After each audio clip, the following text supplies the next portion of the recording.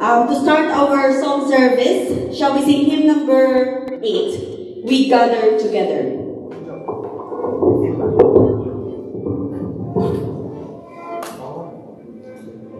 Hymn number 8.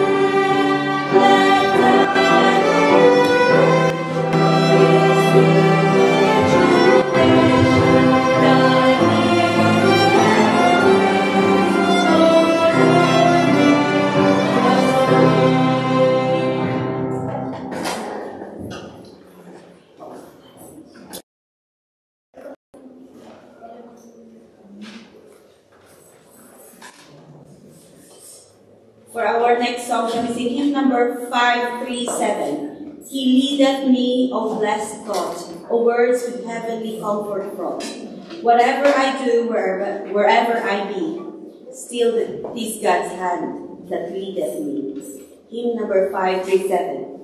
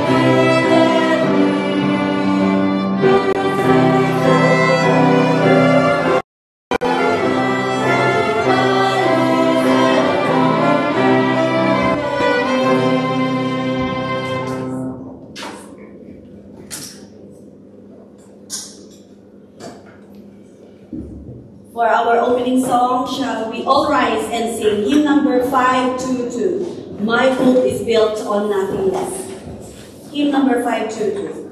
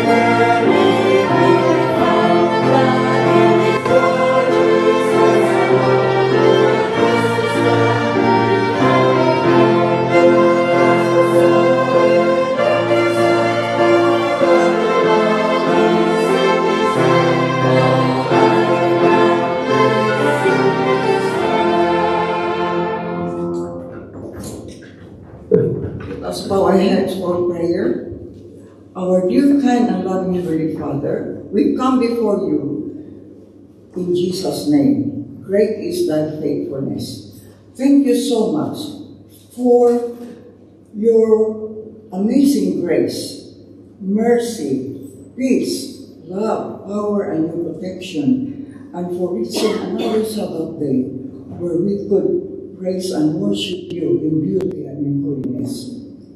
We love your Sabbath, Lord, where we can rest from our earthly labors and cares, and to learn more about you and your will and also to enjoy Christian Help us to be watchful in prayer, strong in faith, courageous, and unafraid of the trials and temptations we encounter.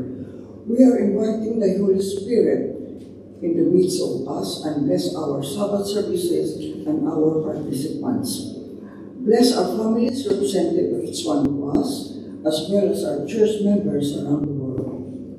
We pray for those families who lost loved ones for comfort in the Turkey and Syria earthquake. And please heal those survivors who are still in hospital. Help us to remember that all these things, the many calamities, pandemic, wars, and demonstration are all signs of your son return. So help us, Lord, to be faithful unto thee. Forgive us of our sins in those in words and in deed. And all this we ask in the precious name of our Lord Jesus Christ. Amen. Amen.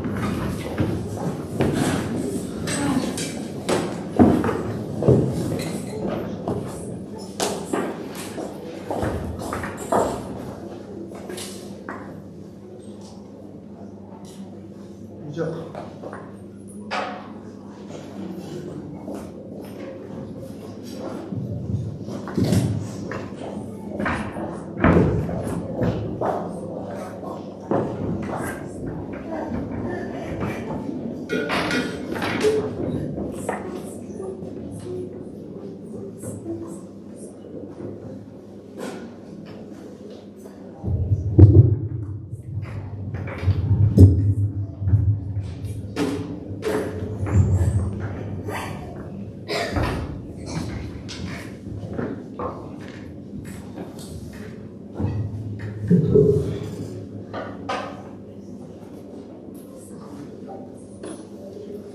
Listen, a farmer went out to sow his seed. As he was scattering the seed, some fell along the path, and the birds came and ate it up. Mark 4 3 to 4.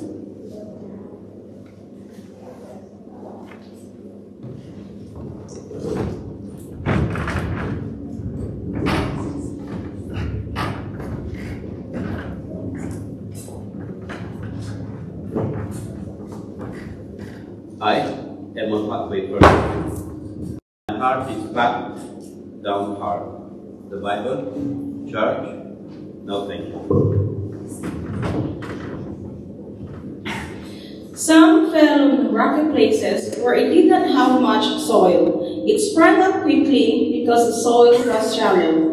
But when the sun came up, the plants were scorched and they withered because they had no root. Verse 5 to 6.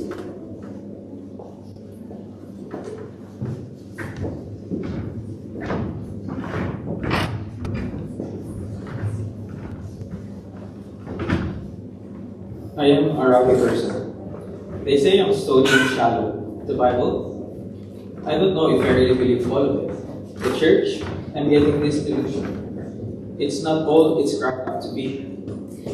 Other seed fell among thorns, which grew up and choked the plants, so that they did not bear grain.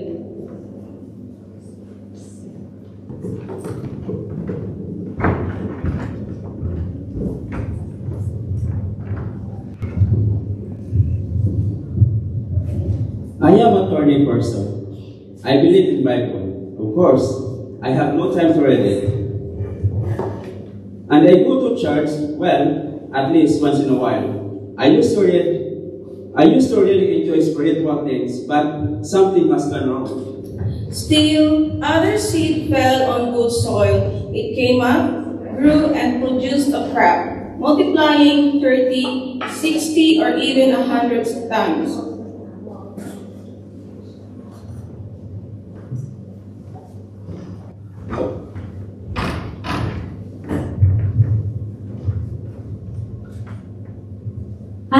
Productive person. Oh, how I love to spend time with God's Word. I can't get enough of it. And you know, it's amazing what God has been doing in my life lately. He's answered prayer and given the joy in His service that I never thought possible. God is so good. In, in each case, the farmer is the same. It is Christ Himself, the divine gardener. The seed is the same, the Word of God. It is the soil that is different soils for different kinds of people for different results. Let's see if we can discover what makes a difference. Hearts, where the good seed was sown, I have some questions to ask you. What sort of friends do you have? How important are they in your life? My friends are very important to me. They have no time for God. So why should I?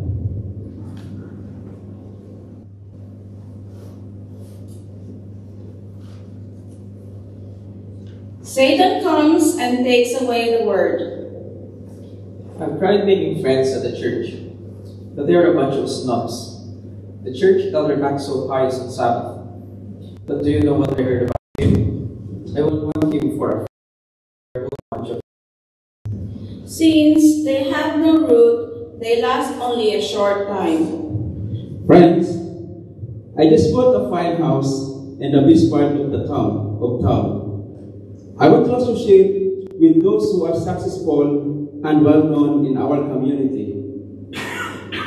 I want the best for my family and my children. But the worries of this life, the deceitfulness of wealth, and the desires for other things come in and choke the word. I have lots of friends, but my best friend is Jesus. I've just made friends with my new neighbors and they want me to have a Bible study with them. Isn't that great? And I've made some special friends at the soup kitchen too. Others heard, hear the word, accepted, and produce a crop. 30, 60, or even 100 times was sown. My next question for you, hearts, where the word has been sown, what you do with your spare time? I love to get together with my friends for a game of cards. I read the of novels and of course there's TV. I have my favorite soap operas and sitcoms, and I enjoy several good videos every week with my friends. Satan comes and take away the word. I spend a good deal of my time on the telephone. I read the newspapers and a couple of news magazines every week. When I see people suffering from all the earthquakes, I wonder why God doesn't do something about it. I try to keep up with all the latest scientific findings, and I'm beginning to doubt if the earth was really created in six days, as the Bible says. Since they have no root, they last only a short time. I have no spare time these days. I got two jobs to make ends meet. My mortgage payments are high, and of course, we have to have a good car. And my wife wants fine rugs and the latest fashions. You should see the bills I have to pay from all my credit cards. I've got payments on our new boat and RV. Not I never had time to enjoy them. I told at the church that I'm just too busy to take any offices this year. But the worries of this life, the deceitfulness of wealth, and the desires for other things come in and choke the word. The most important thing on my schedule is my quiet time. I get up early to study my lesson, meditate on a portion of the scripture, and pray. Then I jog for half an hour. I enjoy swimming, gardening, and hiking. Last Sunday, I went with pathfinders on a hike and camped out. Once a week, I work in a soup kitchen, and twice a week, I have Bible studies going. It seems I'm always involved in something down at the church. I love it. Others hear the word, accept it, and produce a crop. 30, 60, or even 100 times was what was sown. Tell me, hearts, where the world has been sown, what do you take time to listen each day? I listen to my friends. Their opinions are very important to me. And of course, I listen to my music. I have stocks of it, or the latest hits. I love my music fast and wild. The louder the beat, the better I like it. I, it puts me in the mood to party. Satan the word. I listen to anyone who has a nice, juicy bit of gossip. I listen to the news. I respect the opinions of the great philosophers and scientists. I like I like to go hear a really good preacher. You know, like Billy Graham. Most of the time, I go to sleep when I go to our church because the preacher is boring. Since they have no root, they last only a short time. I listen to the news and the stock market. I listen to my business associates and, and those who are successful in life. Naturally, I listen to what people say about me. It is important that I, I am well told of in the community. I listen to what my wife and children want, and I try to buy it for them. But the worries of this life, the deceitfulness of the wealth, and the desires for other things come in and choke the word. I take time every morning to not only pray, but to listen to what God has to say through His Word. I listen to His voice speaking quietly to me during the day, telling me, telling me what He wants me to do. I listen to the people around me to find out how can I help them. Others hear the word, accept it, and produce a crop. 30, 60, or even 100 times was sown. Tell me now, hearts, where, where the word has been sown, what is your greatest wish in life? What is your goal? I want to experience all the pleasures the world has to offer. There is no way I'm going to let God interfere with the way I live my life. I'm not interested in His word. Satan comes and takes away the word. I wish the church were all that it's supposed to be loving, caring, forgiving, understanding community. I wish it were easier to be a Christian and that and there weren't so many restrictions in the way to live. Now, can you tell me what it is going to hurt? Is I drink a few beers or eat a ham sandwich? But since they have no root, they last only a short time. When trouble or persecution comes because of the word, they quickly fall away. My greatest desire is to be successful in life, to make a home for myself, to reach the top of my profession. I want to make enough money to retire comfortably and to enjoy life in my old age. But the worries of this life, the deceitfulness of wealth, and the desires for other things come in and choke the word. My greatest desire is to be like Jesus. I pray every day that the Holy Spirit will reproduce His character in my life. Love, joy, peace, patience, kindness, goodness, faith, humility, and self-control. Others hear the word, accept it, and produce a crop, 30 or even a hundred times what was sown. Which kind of soil is in the garden of your heart? Which soil do you want to be there? We cannot change the soul of our hearts, but He can. If we are but willing, He, the gracious gardener, will do the deep work necessary to produce in our lives the fruits of His Spirit. If we will but allow Him to work, He will open, He will come in, into your heart and dig up the hard, packed places, remove the stones, and root out the thorns. He wants to work the soul of your heart until it is richly productive. Will you let him begin today? Amen. Uh,